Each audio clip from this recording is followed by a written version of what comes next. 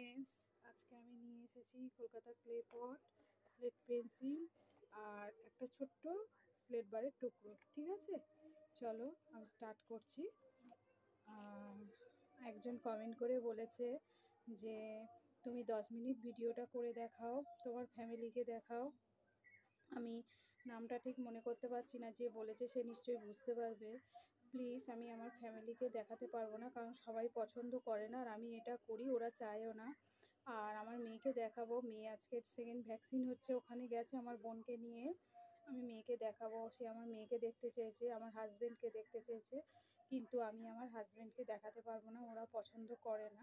ঠিক আছে? তাই জন্য আমি দেখাতে পারব না, বা আমার ফ্যামিলির লোকও কেউ পছন্দ করে না এগুলো, আমি দেখাতে পারব না। কিন্তু তুমি দশ মিনিট বলেছ, আমি দশ মিনিট করতে পারব, কিন্তু অন্য কিছু বলো, আমি করব। কিন্তু আমার ফ্যামিলিকে আমি দেখাতে পারব না। আর আমার মেয়েকে আমি এক সময় তোমাকে দেখিয়ে দেবো এবং কি করো জিজ্ঞেস করেছ, আমার মেয়ে কলেজে থার্ড ইয়ার পড়ছে। ঠিক আছে? তা তোমার কমেন্টের উত্তর আমি নিশ্চয়ই দিয়ে দিয়েছি, তুমি বুঝতে পেরেছ। চলো স্টার্ট করছি। স্লেট পেন্সিল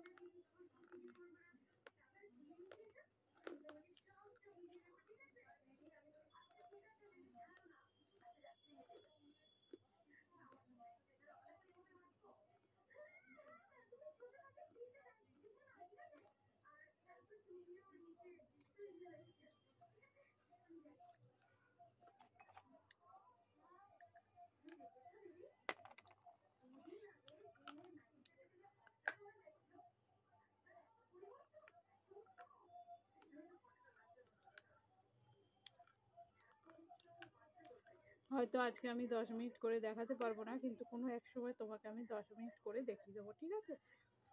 কারণ আমার ঘরে এক্ষুনি যদি কেউ ঢুকে যায়, অসুবিধা হবে।